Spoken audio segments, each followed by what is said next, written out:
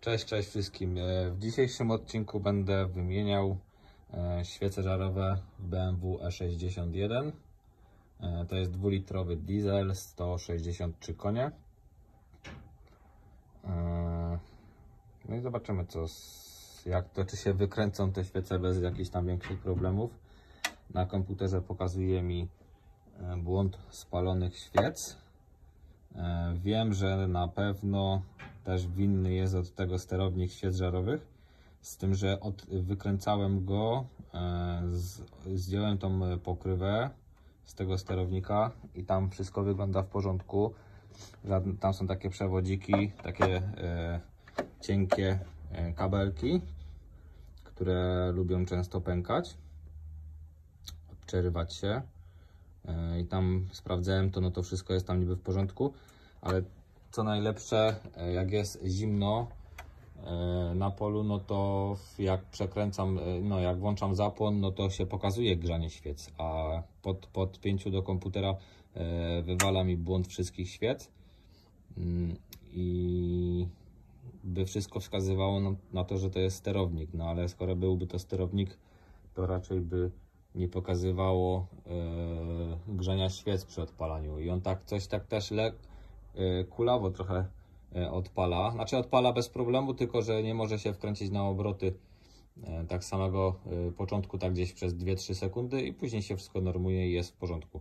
Także pierwsze e, wymienię świece żarowe, e, a w razie czego, jeżeli byłby to jednak sterownik, no to do sterownika w sumie tam nie trzeba nic demontować, bo e, cały ten sterownik jest tutaj, w tym miejscu, tu są przewody od niego. Jest no dość ciasno, ale bez problemu da się go wyjąć. W sumie to jest kwestia tam 10 minut i jest na stole taki sterownik. Więc w razie czego, no to, to będę musiał go też e, wymienić w przyszłości. No ale pierwsze co, no to wymienię te świece, no i zobaczymy, czy będzie jakaś poprawa. Dobra, e, tu już sobie zdjąłem tą tylną obudowę silnika, pokrywy. E, mamy teraz do odkręcenia wszystkie te śruby na dziesiątkę. E, I na klucz 11 mamy tutaj pochowane jeszcze śruby. Tam jeszcze jest jedna z tyłu. Trzeba będzie wyrozpinać tam jakieś chyba podciśnienia, jakieś wtyczki. E, Będę musiał odkręcić tą przepustnicę. Nie, sorry.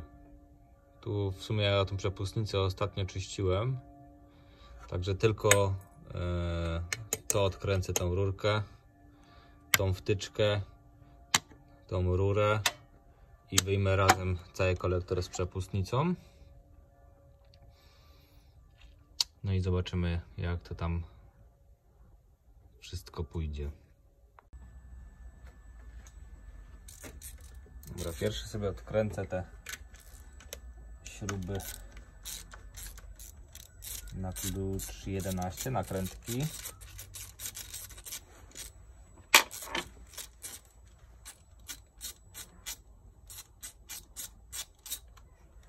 Nie wiem, czy nie będę musiał poczekać trochę jak to ostygnie. Dość mocno gorące, bo dopiero co wjechałem do garażu.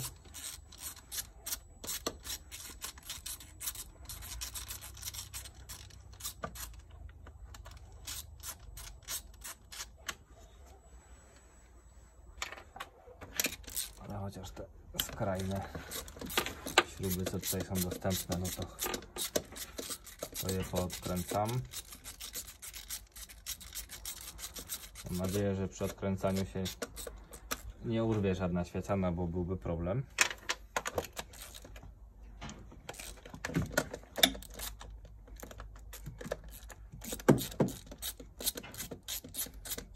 Nowe świece kupiłem e, z Be- Beru, Beru? Bera, Beru. 43 zł taka jedna sztuka.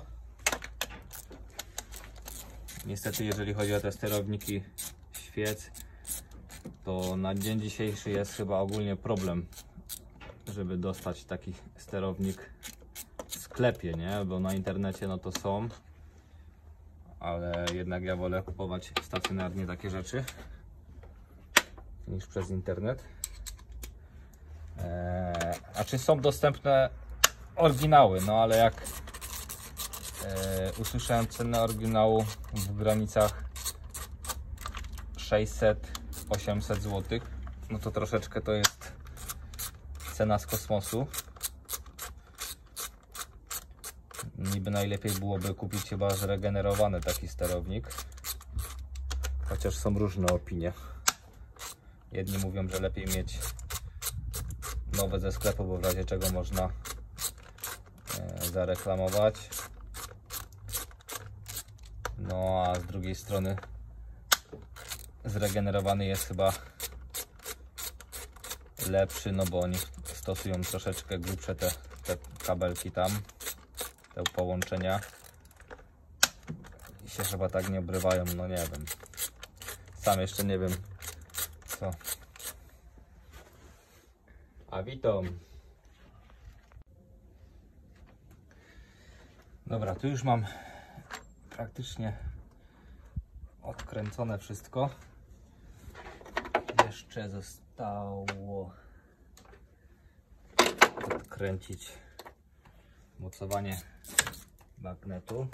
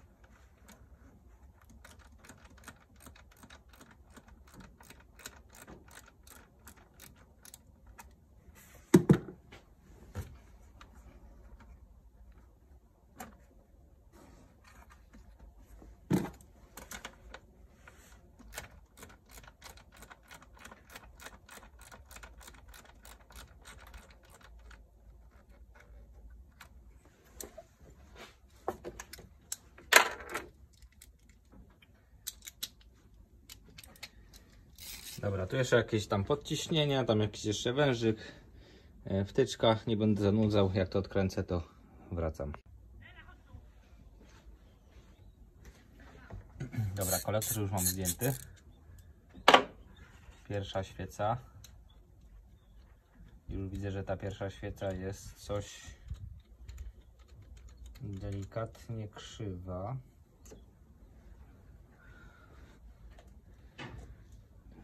Nie wiem, czy ją będzie widać. E, Gdzieś tak okopcono, no ale myślę, że to jest chyba normalne przy dieslu. Nie chcę się wyostrzyć. Ale patrzcie się, jak jest skrzywiona. Nie wiem, czy to też może być problem z działaniem takiej świecy. O, teraz widać, jaka jest krzywa. Dobra, wyciągam, wyciągam resztę świec, wykręcam.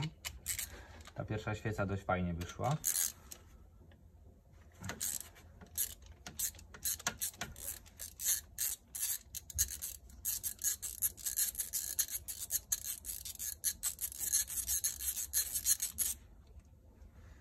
Druga świeca też wyszła.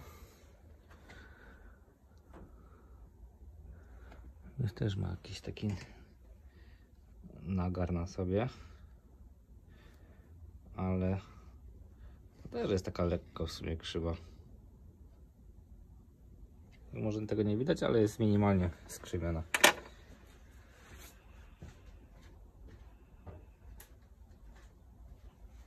Sobie porównamy, czy mam dobre świece długościowo. To samo. Także tak wygląda nowa, tak wygląda stara. Beru, Beru. Te same oznaczenia 0100 266 002 Także jest to samo. Dobra, to ja sobie tutaj będę wkręcał i już niestety muszę robić to małą grzechotką. Nie mam takiej końcówki. Jak świeca nieraz idzie ciężko, to też nie warto. Mówimy oczywiście o świecach żarowych. Żeby jej nie urwać, też nie warto ciągnąć na siłę, jak jest opór. Więc czasem lepiej ją odkręcić obrót, pół obrotu w drugą stronę.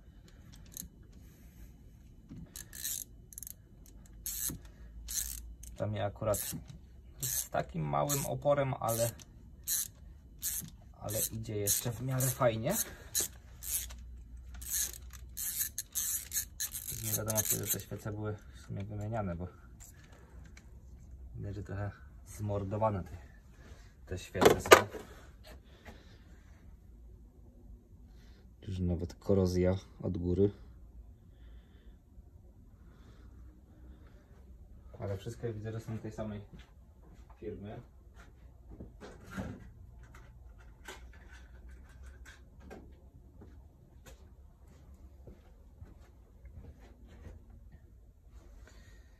Dobra, tu sobie teraz będziemy nową.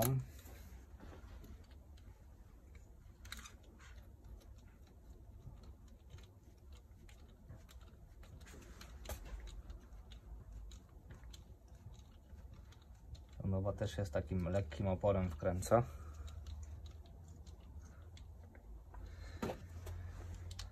I tak szczuciem ją będę dokręcał. Tak jest. Do pierwszego, do złamania, do szczelenia w łokciu. Jak to się mówi. Fajeczka na świecę. Została jeszcze jedna.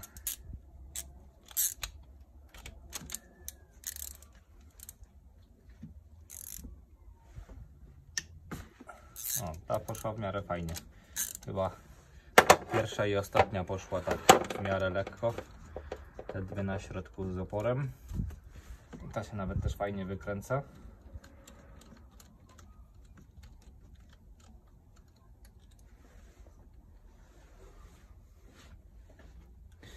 Wszystkie takie okopcone są. O, ta też jest krzywa. Wszystkie kurde skrzywione. Od czego to jest? Ciekawe to jest. Czemu takie krzywe? No I taka świeca pewnie też nie ma prawa dobrze działać.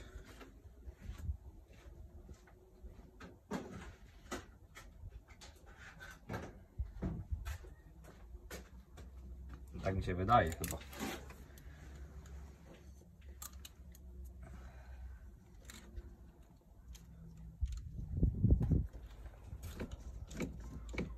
Dobra, ostatnia świeca. Na szczęście są tylko cztery.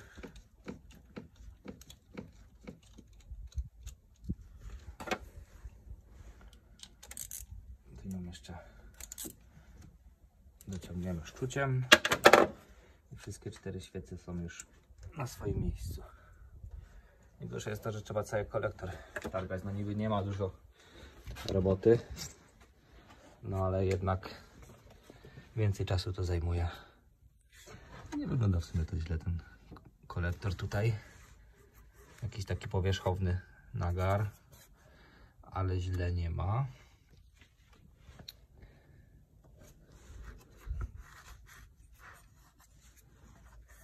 No i troszkę takiego przeoliwione jest. No ale raczej to normalne. To będę jeszcze musiał umyć te gniazda Mm, do bloku. No i niby pasowałoby założyć też nowe uszczelki na kolektor, no ale jak tak patrzę, no to w sumie te uszczelki nie są ani pozgniatane, miękkie są, nie są jakby takie skamieniałe, także będę zakładał na starych. No i każdy o tych klapkach mówi. A u mnie bardzo ładnie to chodzi. Jakiś tam nagar mają na sobie. ale żadna nie ma luzu czy jakichś tam innych oznak uszkodzenia.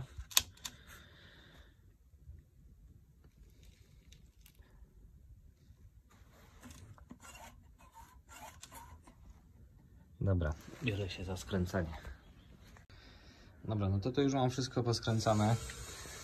Eee, wszystkie te rurki, nie rureczki, kabelki, przewodziki podciśnienia są wszystkie poskładane. Oczywiście nie byłbym sobą, gdybym ostatniej śrubki nie zgubił. Śrubka od miarki oleju. Gdzieś mi się wyślizgnęła, jak próbowałem ją wkręcać. Gdzieś, gdzieś tam jest, gdzieś tam jest. Ale gdzie? A niestety nie mam takiej śrubki na zapas. A też nie mam kanału, żeby wejść od spodu szukać. A nie będę się wczołgiwał pod auto, bo raczej bym tam pewnie i tak nie wlazł, bo jest za mało miejsca. A Na razie zostawię to tak jak jest. Będę musiał do poszukać takiej śrubki w sklepie gdzieś i, i poskręcać to do końca. W sumie tylko to mi zostało, nic więcej. I w zasadzie można próbować to palić. Czy wszystko dobrze jest poskręcane? Zaraz zobaczymy.